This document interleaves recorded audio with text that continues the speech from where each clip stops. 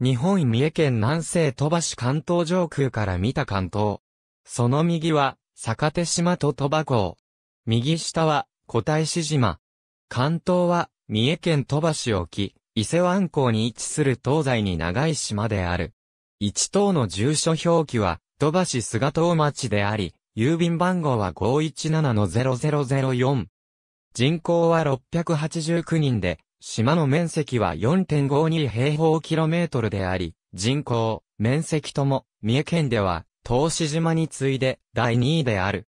同じ鳥羽市内の大札、島市の島町和具と並んで、天の多い地域として知られる。本校では本島に、かつて存在した関島村についても記す。関東の空中写真。2008年9月24日撮影の2枚を合成作成。国土交通省国土地理院地図、空中写真閲覧サービスの空中写真をもとに、作成本土の鳥羽市鳥羽の沖合東 3km に浮かぶ有人島で北に東志島、西に坂手島、北西に上島がある。これらに島市のトロク野島と正木島を加えた6つの島で離島振興法に基づく離島振興対策実施地域の島諸島を構成する。平地が乏しく、集落は関東漁港がある島の北東岸に集まっている。伝承によれば、はじめ笹屋に中心集落ができたが疫病が流行したため、内越に移り、内越が津波被害を受け現在の位置に移ったという。現在の集落は、中村、正村、根村などに分かれる。島の西部にある福浦で、縄文土器や弥生土器、古墳が発見されており、太古の時代から人々の居住があったことが分かっている。古代には、関東の夏見の裏に宿り来する波間もを着て我が、思わなくに、万葉週間11と読まれた島で、鎌倉時代初期に、純徳天皇が表した科学書、約も五章でも取り上げている。災業防止は、参加州に枯らす、詐欺の浜の小石と思うなり白も凍らぬ関東の黒など、菅島や東志島を読んだ数種の和歌を載せている。この歌は、東志島の白い小石の浜と関東の黒い小石の浜を対比して読んだものである。宇方町の中村忠には、あまりうまくもない歌と評している。あずま鏡の研究元年4月19日上には、菅島、上大鳥省には、スカ島とある。下空診療求人引き付けに、菅島送り屋とあり、伊勢神宮、豊家大見和宮の送り屋であった。中世には、島十三地頭の一人である関東の都が島を治め、小寺城山には、関東城跡がある。関東城は、永禄年間に、久喜義高によって攻め落とされた。江戸時代には、関島村として、島国東市軍小浜組に属し、鳥羽藩の配下にあった。戦数は62層で、タイ、福田飯尾から、海栗、中海楼、アワビ、荒井ふのり、にあらめ、塩わかめ、黒砂浜などを上納した。1673年に、河村随県の権議により、江戸幕府の命で、岡狩堂が築かれた。経費は幕府持ちで、浦賀奉行から支出されたが、明和8年より、江戸金庫に変わった。幕末には、鳥羽藩が、大日山に砲台を築いている。1873年7月1日、岡狩堂は、日本の東大の父と呼ばれる親とい外国人、リチャード・ブラントンにより、洋式東大として再建され、関東東大となる。東大の竣工式には、西郷隆盛をはじめとする政府高官が列席したという。当時は職員がおり、付属官舎もあった。この官舎は愛知県犬山市の博物館、明治村に移築、保存されている。1889年の町村制施行により、関東は答え志村の一大技となるが、1897年に分村し、関東単独で村制を敷くことになる。1918年には、沢田宗志郎が、鳥羽町との間に、定期船を就航させ、1927年に、西村幸十郎も、同区間に、定期航路を設定した。1928年には、島の南部に、蛇紋岩の採石場が開かれ、1939年に名古屋帝国大学臨海実験所が建設された。現在は名古屋大学大学院理学研究科の付属施設であるが、開設当初は医学部の付属施設であった。1954年、鳥羽町などと合併、関東町となった。1975年より、本土から送水が始まった。2009年3月28日放送の CBC の番組なるほどプレゼンター。花坂かタイムズの中で鶴野武氏が関東を訪問した。文字通り、関の生育する島との解釈も可能であるが、中村忠には、関東を印象づける景観は、菅ではなく砂浜であるとして、スカイコール差のあるところであるとした。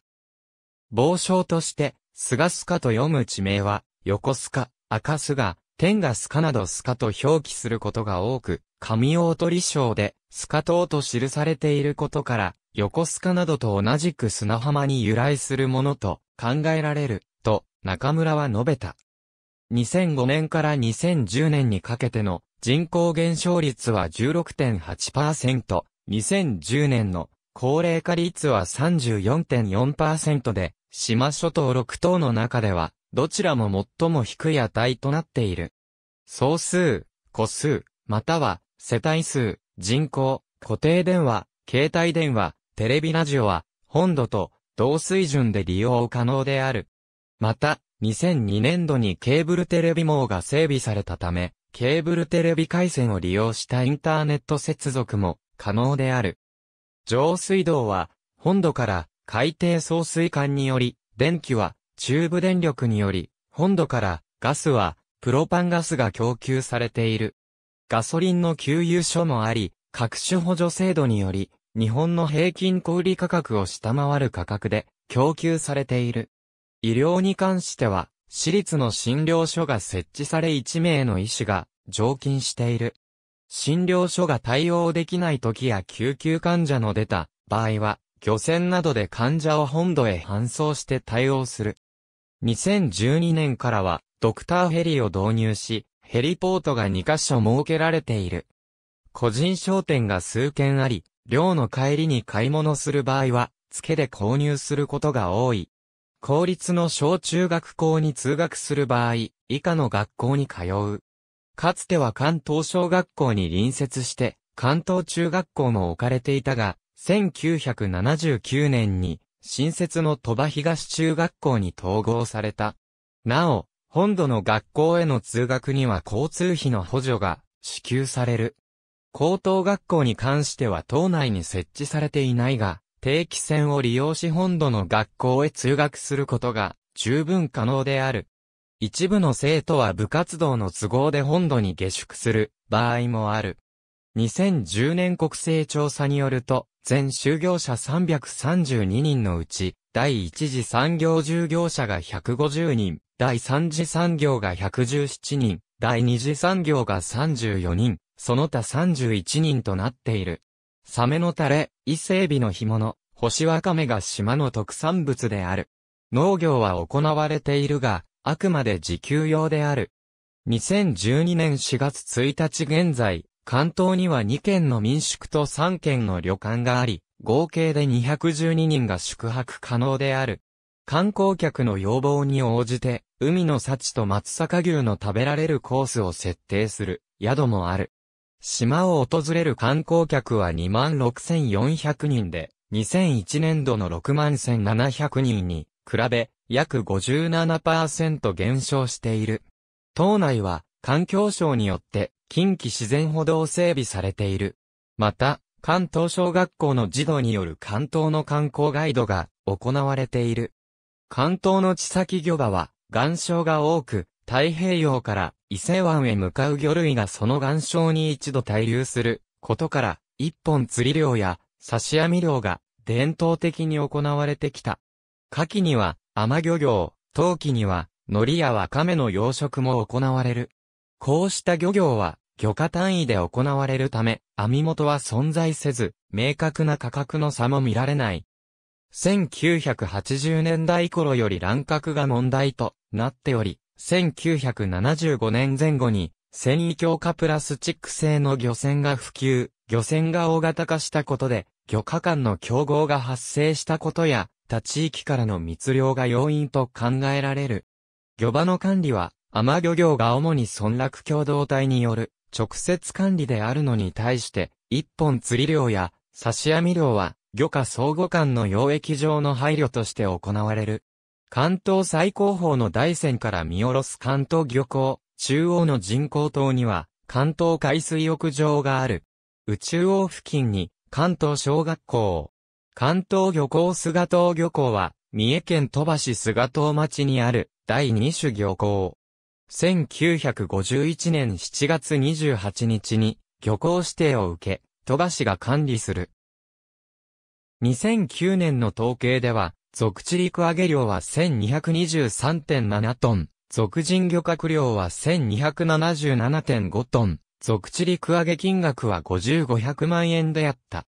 1907年から取り組まれた括弧による海底透析が漁港整備の発端となっており、離島振興法の適用も受けて漁港として整備されてきた。主な漁獲物は2007年現在、海苔類、ひじき、その他のエビ類である。関東の西側にある採石場、右奥に、坂手島菅島の採石場は、島の西部にあり観覧岩を採取している。住民からは、石切り場とも呼ばれる。鶴田石材株式会社菅島工場が、採石事業を営むが、土地自体は、土橋の公有地及び、関東町内会が、入会権を持つ入会地である。このため、市と町内会は土地使用料収入を得ているが、1立方メートルあたり5750円で、販売される石材がわずか80円で売却する契約になっていることや、地域の産業や環境への悪影響が問題視されている。関東の採石場を営んでいるのは、愛知県名古屋市厚田区に本社を置く、鶴田石材株式会社である。三重県鳥羽市菅島町429の位置にある関東工場は、同社の主力工場であり、観覧岩を採石、破砕し、東海地方や関東地方、近畿地方へ専用線で出荷している。敷地面積は129万3000平方メートル、年間350万トンの石材を産出する。石材は新幹線のバラストや中部国際空港の空港島、埋め立て、静岡県の富士海岸で海岸侵食防止のための用品材などに使われた。この工場は2007年度に有料採石事業所として中部経済産業局長から表彰を受けている。鶴田石材は土橋及び関東町内会に対して売買契約を締結しており、戸橋へは一定額を、関東町内会へは実績に基づいた金額を毎年支払っている。また、関連産業を含めて約70人の市内雇用を創出している。現在の採石場のある土地は、江戸時代まで島民が樹木の伐採や開墾など自由に行えたが、明治時代に皇室財産とされ、利用が不可能となった。そこで、島民は土地の払い下げを何度も願い出て1913年に、ようやく払い下げが実現した。しかし、その費用負担は、当時の関島村にとって重く、銀行から資金を借りる、村民に細かく、土地を分筆して売却するなどの手段で何とか、賄った。採石事業は、大正時代より行われていたが、1930年1月30日、関島村と鶴田石材の間で、石材採取契約が締結された。1954年、昭和の大合併の際に、関島村は、鳥羽市へ上述の払い下げ地の一部にあたる関東町429番地の67を提供した。この時点で、関東町429番地の67に対する関東町内会の入会権は消滅したと市は考えていたが、早稲田大学教授の黒木三郎の関東地区入会調査報告書では、地域入会権が存続する限り、市は入会権の行使を妨げることはできない。としており、実際に、鶴田石材は、関東町429番地の67に対する土地使用契約を、鳥羽市と関東町内会の双方と締結している。この経緯により、鳥羽市は登記上の所有者でありながら、緑化に対してあまり強く言えない状態が続いている。1968年、鳥羽市は、鶴田石材に1立方メートルあたり20円で、石材を売却する契約を結ぶが、1980年12月31日をもって、採石を終了することを1978年3月議会において、全会一致で決定した。しかし、1979年2月と1983年9月に、採石現場で地滑りが発生した。この地滑りでは、付近にある名古屋大学の臨海実験所に落石が直撃しそうになったという。原因が採石によるものであるという結論が出ると市は、地滑り対策を業者に履行させるとして、事実上の採石続行を認めることにした。その後、市議会の終結決議と、市当局の契約延長提案が繰り返され、20世紀が終わるまで採石は、行政の許可の下、継続された。1985年頃より大規模な採石で、岩肌が剥き出しになった様が、市民に注目され始め、平成に入ってから、市議会でも、自然の修復、山肌緑化を求める声が上がり始めた。また、関東を訪れたウッズホール海洋研究所所長のジェームス・ウェバート教授は採石場を目にして、これは、ひどすぎる。君らは、美しい日本の自然を破壊者どもに委ねておくのかと、言った。関東が荒廃の果てに消滅する前に、再生の余力を持っている間に、緑の島に返さねばならない。と語ったという。市議会では、採石量、入会地、貴重な自然など、多数の問題が明らかになった。